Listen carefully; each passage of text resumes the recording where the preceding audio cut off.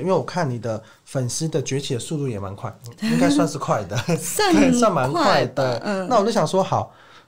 你觉得这些铁粉或者是这些粉丝，他怎么去创造？假如我今天是个品牌，或是我像是个人品牌，我想要经营你的，呃，我想要经营自己，怎么经营你的？我想要经营经营自己的品牌，或是一些呃，我有些想法想要传递呀。对，我怎么样去累积我的粉丝，或者是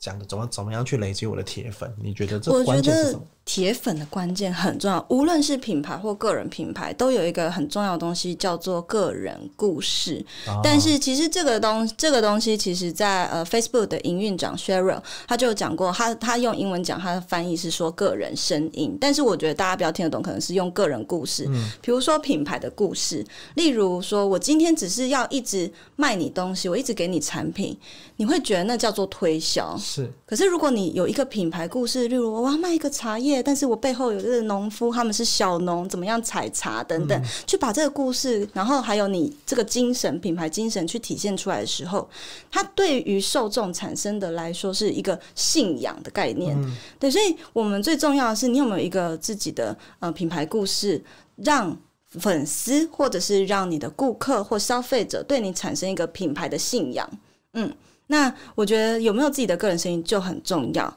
那这个故事。对于创作者来讲，我觉得就是回归到你自己过往的个人经历，不要去羞于去分享你的经验和故事，而且要从你过去的那些故事里面统整出，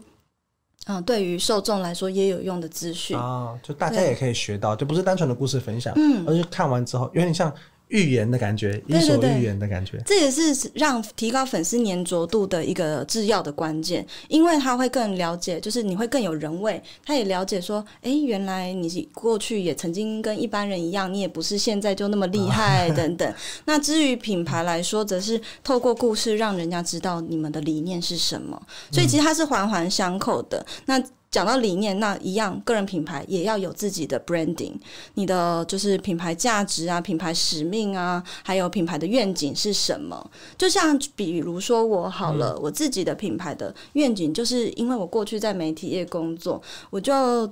知道自己发很多垃圾新闻嘛，还常常骗人家点击。其实我做这些的时候，我都觉得自己昧昧着良心在做事，你知道吗？然后为了那个 KPI 做事。对对对，为了 KPI 做事而已。然后就觉得说，我要怎么样，就是才能够，我会去想要改变内部，但是很难，因为 KPI 就是这样。我会在想说，要怎么样才能够降低这些垃圾资讯，而是让大家在华社群的时候都有效的吸收到有用的知识内容。所以我就在创业的时候，就觉得要帮助内容。好的内容创作者被更多人看见，所以我的愿景是希望，诶 m a y b e 五年后、十年后，可以让这些好的内容创作者被更多人看见之后，可以改变社群上的这种垃圾资讯的生态，让好的知识在上面流动。嗯，那嗯，大家的就可以去想想看，那你做个人品牌，你的愿景是什么呢？